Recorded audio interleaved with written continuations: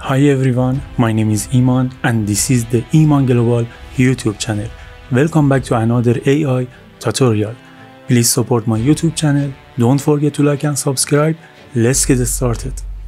The date is the 1st of February in the year 2024, a turning point in the history of artificial intelligence. Feast your eyes on these images. They are neither paintings nor photographs. They are images created by Google Bard's artificial intelligence. Google Bard just released a new text to image feature that allows you to generate stunning images using only text descriptions. Google announced the stunning new capability is available in English for most of the world. Google Bard, Google's creative AI, has opened a new door to the world of images. Anyone can become an artist with Google Bard. Simply describe your vision in words, and watch as it transforms into a stunning, photorealistic image. From breathtaking natural landscapes to fantastical creatures, from classic paintings to sci fi imagery, Google Bard puts the power to create any image in your hands. As you can see, the results are incredibly realistic and detailed. This revolutionary new capability is powered by Imagen 2, Google's latest AI model for generating images. Imagen 2 is trained on a massive dataset of text and images, and it's capable of producing high quality,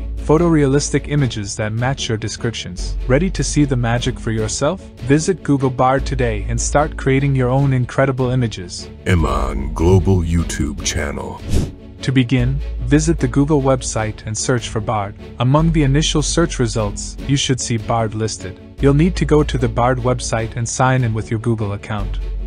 Once you're signed in, you'll see a text box where you can enter your prompt. The prompt is simply a description of the image you want to generate. For example, if you want to generate an image of a cat sitting on a couch, you could enter the following prompt A photorealistic image of a tabby cat sitting on a red couch in a living room.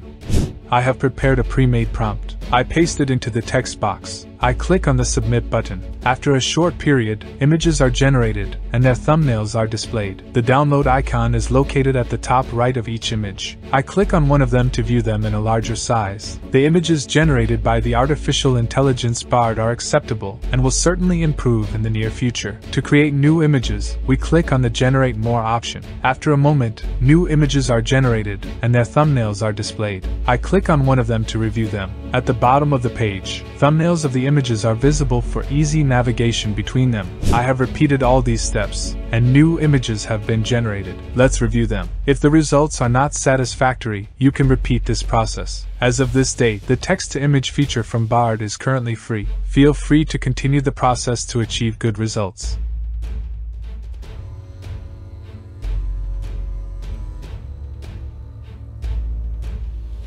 Thank you for watching. I hope you learned something new from this video. Please support the channel by liking, commenting, and sharing with your friends. We have new AI tutorials every week, so subscribe to the channel and turn on the notification bell so you don't miss anything. You can show your love for the channel with the super thanks button below each video. See you in the next video.